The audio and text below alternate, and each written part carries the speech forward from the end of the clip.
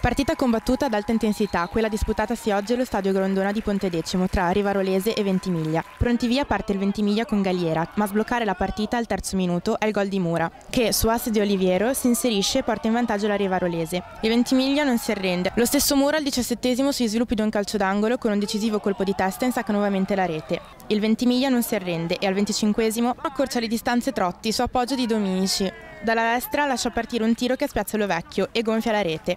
Ci riprova Galliera, ma respinge Lovecchio. Si va negli spogliatoi sul 2-1.